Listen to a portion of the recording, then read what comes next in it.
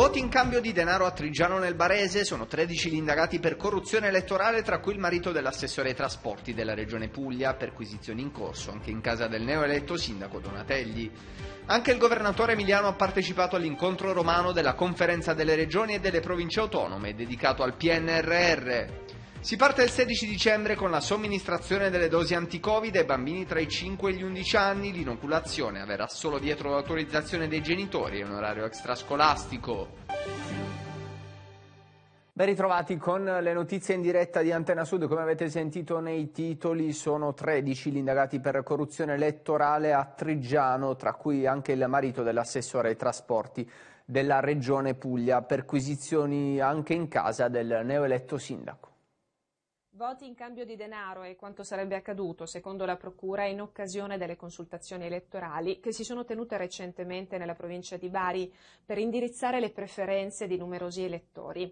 Sono oltre 50 i carabinieri del comando provinciale impegnati in decine di perquisizioni domiciliari. Tra le persone sottoposte a perquisizione il neoeletto sindaco di Trigiano Antonio Donatelli, i consiglieri comunali Angela Napoletano e Antonio Fortunato e Alessandro Cataldo, ritenuto dagli inquirenti Deus ex machina del collaudato sistema. Le indagini, condotte dai carabinieri del nucleo investigativo e della sezione di polizia giudiziaria, coordinati dalla Procura della Repubblica di Bari, sono partite quando i pubblici ministeri sono venuti a conoscenza dell'esistenza di un meccanismo che sarebbe stato architettato e realizzato nelle ultime campagne elettorali dal creatore del movimento politico Sud al Centro, in modo da canalizzare il voto, previo pagamento di 50 euro, di diversi elettori a favore dei candidati sostenuti. Il partito politico era stato già al centro di una precedente indagine chiusa nel febbraio scorso, che aveva coinvolto 50 persone per corruzione elettorale a seguito delle elezioni amministrative del 2019, quando fu eletto al primo municipio di Bari, candidatosi con la stessa lista, Carlo De Giosa, ritenuto vicino all'assessora regionale ai trasporti Anita Mauro Di Noia, quest'ultima non indagata. L'attenzione degli inquirenti si concentrava su Trigiano, comune di residenza di Cataldo. Le indagini hanno permesso di documentare come si fosse attivata una rete di gregari per individuare e contattare cittadini trigianesi disposti a tributare il loro voto al candidato sostenuto in cambio di 50 euro. I carabinieri, la sera del 6 ottobre, in un cassone stradale di raccolta indifferenziata, collocato in un piazzale buio ed isolato a San Giorgio, hanno scoperto materiale ritenuto scomodo perché rinveniente delle attività legate all'appena conclusa campagna elettorale, frammenti di fotocopie relative a documenti di identità e codici fiscali di cittadini, manoscritti con il nome di persone e i loro recapiti, documentazione personale di Sandro Cataldo e Anita Mauro Di Noia, un consistente numero di cartelloni, facsimile di schede e volantini di propaganda elettorale inerente alle consultazioni amministrative del comune di Tregiano e relativo ai candidati delle liste Tregiano al centro e con Donatelli sindaco. Cronaca, rapina Brindisi, svaligiata la storica gioielleria La Rocca al rione Santa Chiara.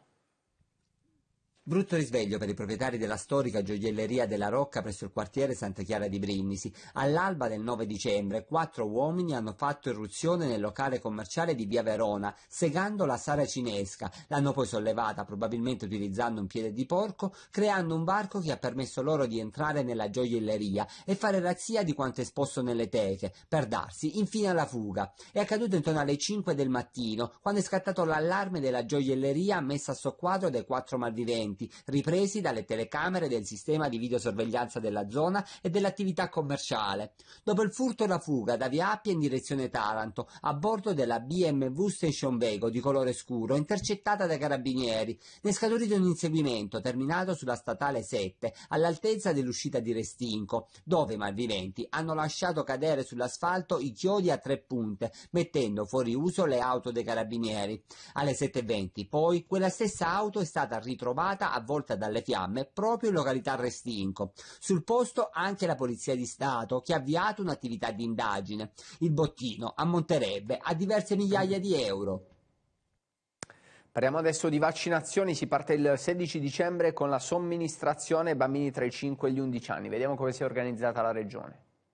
I bambini pugliesi di età compresa tra i 5 e gli 11 anni dal 16 dicembre prossimo saranno vaccinati nelle scuole in orario extrascolastico. Gli istituti scolastici saranno individuati dalle ASL. A somministrare i vaccini dovranno essere dei team istituiti sempre dalle aziende sanitarie. Lo precisa in una circolare la Regione Puglia. Si ritiene opportuno, si legge nella nota, che gli istituti scolastici e gli uffici scolastici provinciali raccolgano in forma anonima e per ambito territoriale le disponibilità alla vaccinazione da parte dei genitori, tutori, affidatari o caregiver.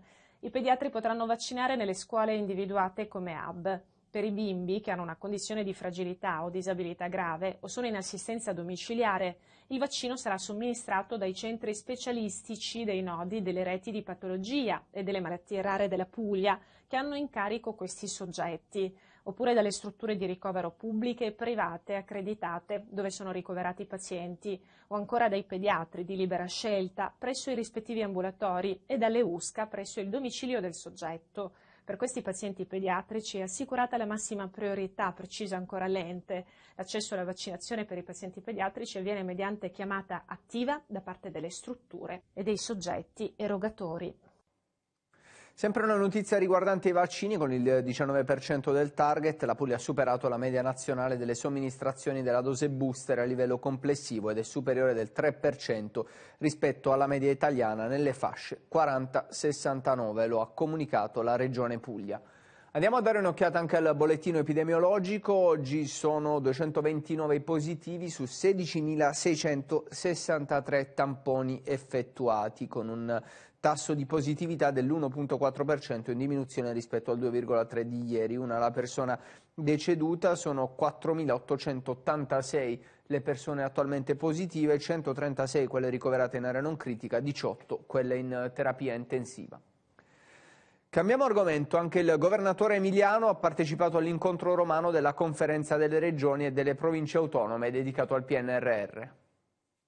Il ruolo delle regioni nel piano nazionale per la ripresa e la resilienza è quello della conferenza per il futuro dell'Europa. Di questo si è parlato nella capitale durante l'incontro della conferenza delle regioni e delle province autonome di cui il governatore pugliese Michele Emiliano è vicepresidente al fianco di Massimiliano Fedriga, presidente del Friuli Venezia Giulia. All'appuntamento ha partecipato anche il numero uno del Comitato delle regioni dell'Unione Europea, Apostolos Zizi Il PNRR, anche per questione di tempi, eh, forse non è riuscito, almeno in Italia, a creare questa sinergia tra Unione Europea, Italia e Regioni, ma eh, le Regioni con grande senso di responsabilità stanno cercando di aiutare il governo italiano a uscire nel migliore dei modi da questa sfida non facile e quindi nonostante qualche nostra riserva sul livello non elevato di coinvolgimento delle regioni e dei comuni,